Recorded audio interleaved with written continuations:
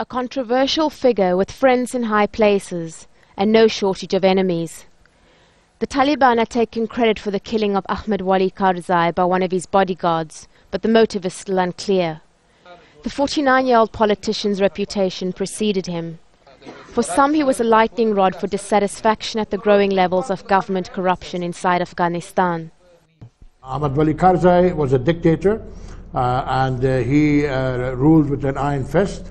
Uh, he was, uh, uh, some of the terms given to him was that he was the, the king of the four provinces.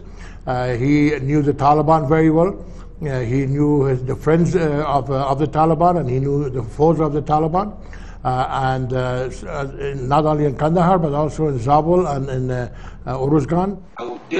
For seven years, he headed the influential National Provincial Council in Kandahar, the so-called heartland of the Taliban insurgency.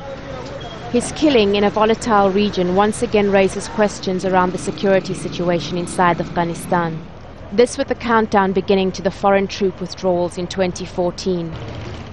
And in a country where ethnic and tribal fissures run deep, there's speculation only a member of the same tribe could take his place as the de facto leader of the south of the country.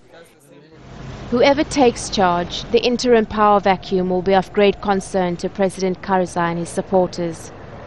Khadija Magadi, Al Jazeera,